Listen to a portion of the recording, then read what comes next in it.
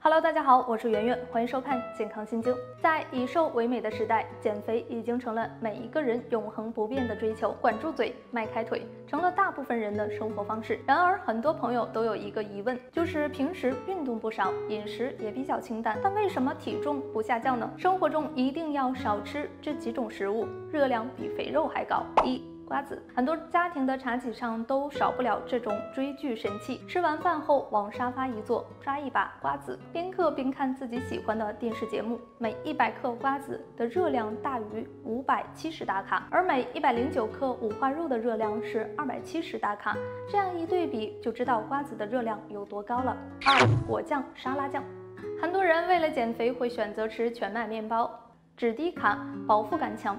但口感并不好，所以会选择涂一下果酱、沙拉酱或者花生酱提味儿。但果酱的热量很高，身体通常很难代谢掉。三、酸奶，饭后喝酸奶可以助消化，有助于增强饱腹感。很多人都喜欢用酸奶代餐，摄入主食少了，但是还是没瘦。第一。饭是少吃了，可水也少喝了。多喝水可以给身体补充水分，加快身体循环代谢。喝水少，身体新陈代谢就会减慢。第二，不要以为风味酸奶同时可以减肥，即使大部分经过百分之九十九脱脂的处理，但是依然具有很高的糖分。好了，本期的养生知识就分享到这里了。如果喜欢我们的节目，请多点赞、多转发、多评论。我们下期再见。喜欢就点个关注吧。you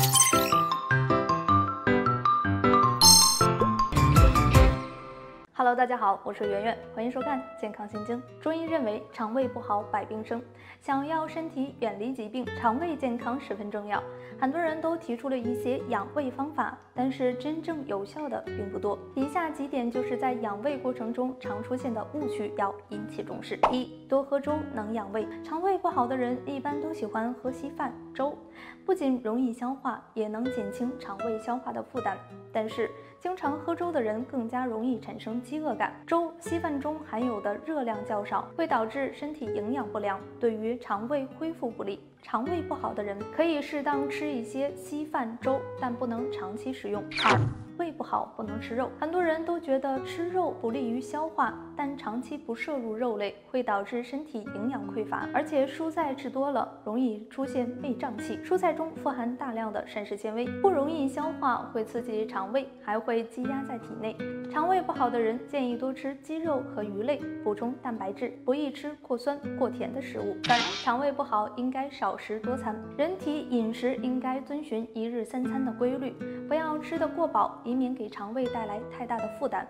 肠胃不好的人吃饭八分饱即可，既能锻炼肠胃消化能力，又能避免胃胀、胃痛等症状。平时要避免吸烟喝酒，以免对肠胃黏膜带来刺激。好了，本期的养生知识就分享到这里了。如果喜欢我们的节目，请多点赞、多转发、多评论。我们下期再见。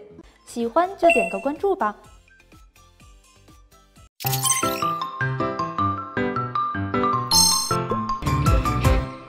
Hello，大家好，我是圆圆，欢迎收看健康心经。肠道是人体重要的排毒和消化器官，一旦出现问题，对人们生活会造成极大影响。研究发现，有一半以上的直肠癌在早期可以发现。很多耽误治疗的大肠癌患者，有八成都是因为忽略症状，没有及时检查而造成的。当我们身体出现哪些不舒服，需要考虑进行直肠指检呢？一排便习惯突然改变，身体如果频繁腹泻，说明肠道内部的菌群已经失衡，在消化吸收的过程中也一定存在问题。特别是在有了肿瘤后，肠道受到压迫，正常功能受到阻碍，会导致腹泻、出现便秘、排便时间不规律等异常现象，一定要保持警惕。二、频繁腹痛。当患者出现阵发性绞痛时，肠道可能受到了肿瘤堵塞，出现肠盾梗阻，导致肚子疼痛。一些人忽略了症状，甚至归结于结石或胰腺，导致肠癌的问题一拖再拖。三、出现便血，一些患者许久没有排便，引起肛裂，会出现大量便血。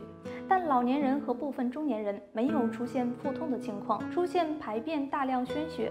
很有可能是消化道出现恶性肿瘤，应该及时查明便血的原因。好了，本期的养生知识就分享到这里了。如果喜欢我们的节目，请多点赞、多转发、多评论。我们下期再见。喜欢就点个关注吧。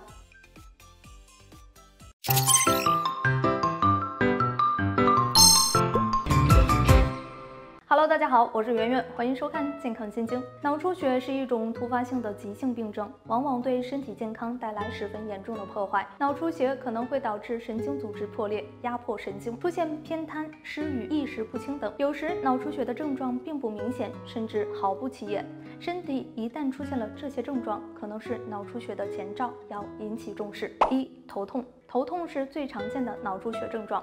脑出血患者的血液直接刺激脑膜，使病患感觉头部有剧烈疼痛。一般这种疼痛在头部一侧，当颅骨内压增高或血液流入蛛网膜下腔时，会从一侧发展成全方位的疼痛。二、呕吐。如果蛛网膜下腔出血，会经常发生喷射性呕吐，或脑出血时颅内压增高，呕吐和疼痛症状不会加剧，而呕吐出的是咖啡色胃内容物，更有可能是上消化道出血，导致嗜睡病情危重。三、嗜睡，嗜睡这是很容易被忽视的脑出血前兆。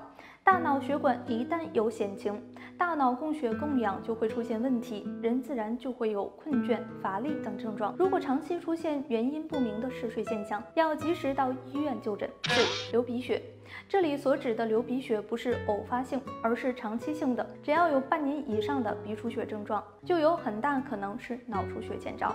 好了，本期的养生知识就分享到这里了。如果喜欢我们的节目，请多点赞、多转发、多评论。我们下期再见。喜欢就点个关注吧。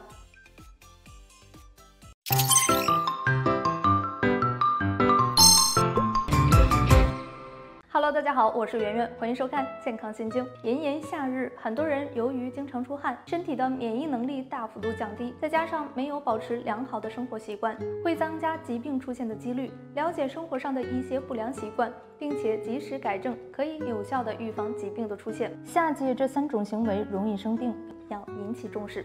一夏天经常吹空调，天气炎热，人的身体容易出汗。上班族长期在空调房中工作，大出汗大大的减少了。但是空调吹出了很多寒气，寒气从四肢吹入了身体内部。泡澡可以帮助身体去除寒气。对身体的好处比较多，感觉身体有寒气的人可以经常泡泡澡。二、爱吃冷饮，冷饮是人们在夏天的最爱，一时之间身体十分凉爽，但是对身体造成了较大的影响。喝冷饮容易损伤自身的阳气，对脾胃的伤害也是很大的。如此反复循环，最终会对身体造成很大的影响。三、盲目去火，很多人都属于虚火内盛的体质，身体内部是寒性的，大多数人对自己的身体状况不了解。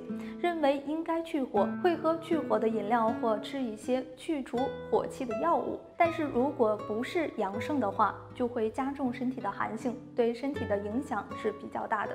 好了，本期的养生知识就分享到这里了。如果喜欢我们的节目，请多点赞、多转发、多评论。我们下期再见。喜欢就点个关注吧。